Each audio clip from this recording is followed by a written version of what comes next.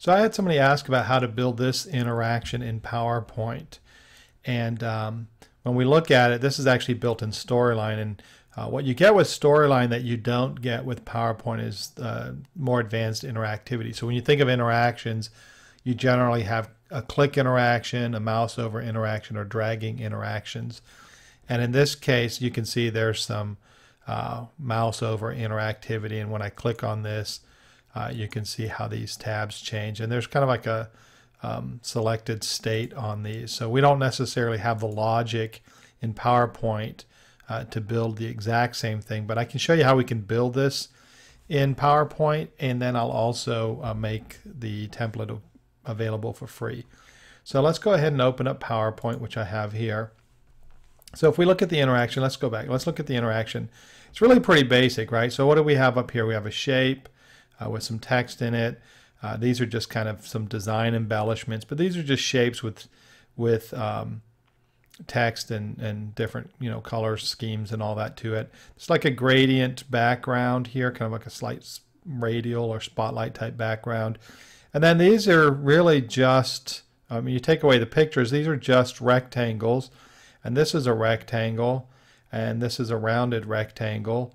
Uh, in terms of coloring, it's kind of like an off-white and kind of lighter gray. Uh, you've got little quotations, and this is gray with a, a, light gray in there as well.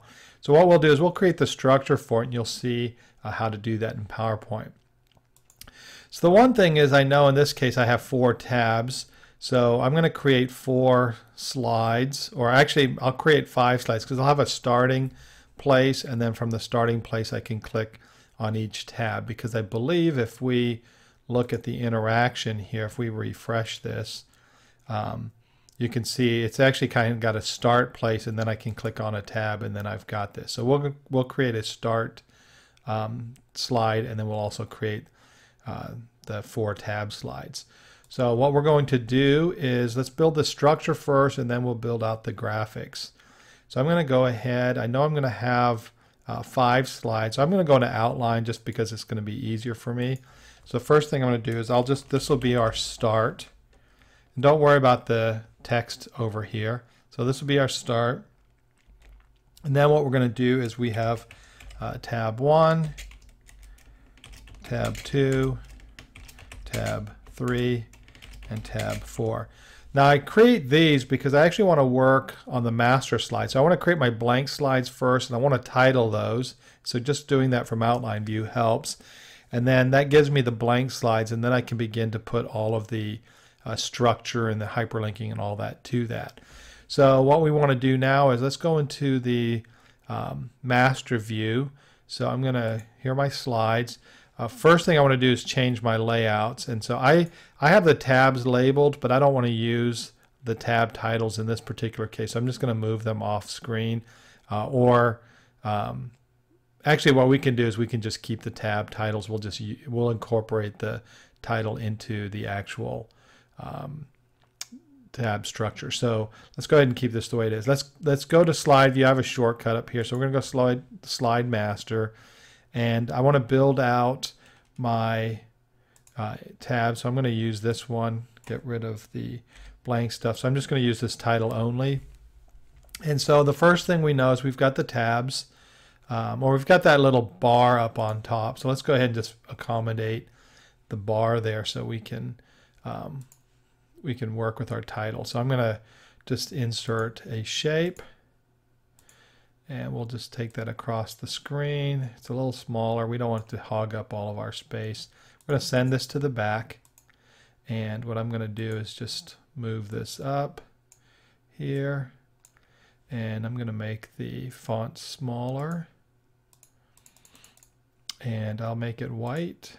And what I'm also going to do is move it over here and make it right justified. And then you can change the fonts and color scheming and all this. Now, I like to use the color scheming um, because then I can customize my colors, which you'll see when we're done with this. So I'm going to change my outline, so no outline, and I've just got my solid uh, color here. And um, then the other thing I want to do is start creating my tabs. So in this case, I've got four tabs, so I'm just going to create four tabs. And then I've also got my um, thing that goes on top, which is going to be my content screen. So, right, so we've got a tab, we've got our content screen, and we could uh, leave some space for this. I'll uh, I'll just build out the tabs interaction. If you want to add this, you can do that yourself. So uh, let's go ahead and um, come back here. Let me let me delete this. We'll we'll start from scratch here. So let's let's um, add a little um, title thing here. I'm just going to add one so then you can you can do what you want to with it. And I'm going to edit the points and I'll do something like that. So now you've got kind of a title area. Uh, we'll we'll fill that with black here and get rid of the outline. All right. And so you can do what you want to with that. So now let's go ahead and create our tabs. So we got four tabs here. Make them a little longer. So I'm just going to duplicate those. So I've got my four tabs. If you want to make sure they're lined up, select them all, go to arrange, align, and then do a vertical distribution. That'll make sure they're all kind of equally spaced. So I've got my tabs. I think in this case they were all um, kind of off-white, so we'll we'll do that um, when we get to it. Now I'm going to create my shape, and the shape that's sitting on top of the tab kind of look like this, right? And this right here is um, a little off-white as well. And, and, if you notice, it's also got this strong shadow. So we're going to go ahead and build that. So let's go ahead and let's just fill this with a little, we'll just fill it with white. We're going to do no outline on it. And then we're going to put a really draw, strong shadow. So we're going to do shadow effects. And um, we'll do that I can I can play with the shadow effects. If I right click, choose the format shapes, you can see all your properties. We're going to go to shadow and we're going to make this. Um, we can play around the transparency here and we can make the size of the shadow a little larger, maybe a little bit more blur to it. And then we can make it a little bit more transparent. So we want it subtle but not too strong. Now this right here, the tabs themselves are all going to be white, right? So let's go ahead and make those white. Now we don't see them yet because of the background, so let's get rid of the outlines. Now let's go ahead and change the format the background. So I'm going to right click, choose format background. Uh, that opens up this. I can choose a gradient background, which we're going to do. Now I'm going to work off of the same blue. So you can see it already kind of created a background. We'll go with radial and then um, I'll actually just keep this. If you want to change it, you can do that. Um, you can see you've got your steps here. You just change the color and you can select uh, one of these colors here. But we're going to go ahead and go with, uh, we're going to work from these blues that are in here. And the reason we're going to do that, if I go ahead and hit close on this, if I change my my design scheme here, let me let me get out of this. If I change my design scheme, you'll notice that it's going to change the colors. So when I choose different colors, you can see how the colors adjust. So that's why we're going to stick with that blue. So you can always create your custom color scheming in there. So now what we need to do is just create our hyperlinking. And I'm going to go back to Slide Master. Um, we know this one right here needs to hyperlink to tab 1. This hyperlinks to tab 2 to those slides. So I'm just going to select my box. If I right click, I can choose hyperlink. And then I just want to go to a place in this document, in this case tab 1. Now what I can also do is um, select the object, hit Control K, and that opens up the box. So that goes to tab 2, Control K, that goes to tab 3. Control K, that goes to tab 4. And now we've got our hyperlinked tabs. Um, then you can put stuff on here. So if you want to put pictures and whatnot on here, I'll just put a shape on here. Let's say you wanted these to be filled with pictures. You know, you can you can create a little square, put it in here, put your picture in there. The other thing you could do is you can make your tabs a little longer to accommodate more content.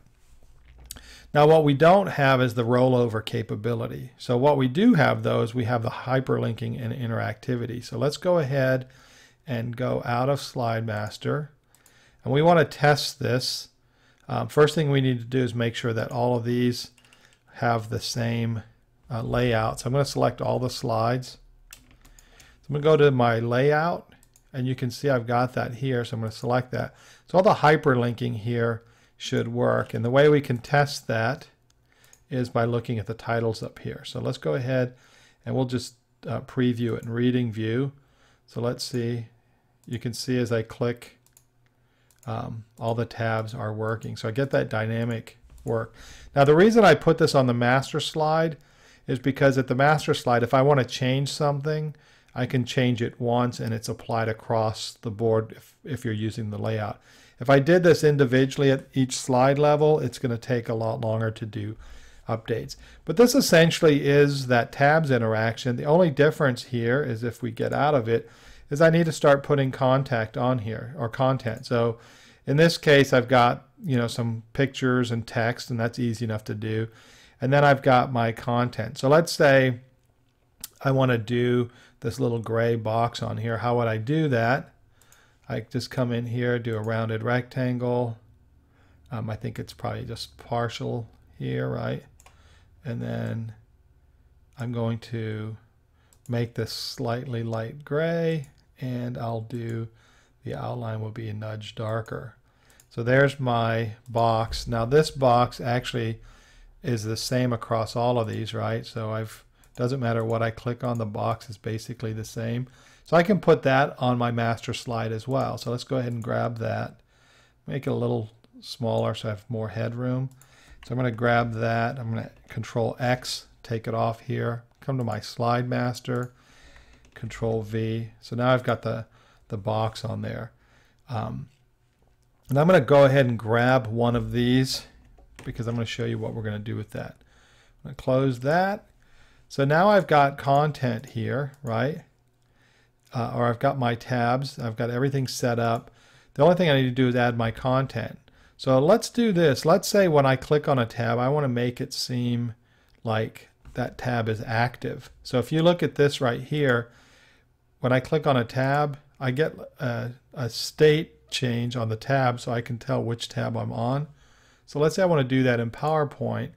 The way I could do that is, let me come over here, I'm on tab one. I can take that box I copied and I can do this. So then it looks like the tabs on top, right? So if I go to two, I can take that and drag it down here and then it's over here. So then it looks like it's lifted off the page and then I can um, come to this one, do the same thing. I'll just drag it down and we'll go to 4 and drag it down.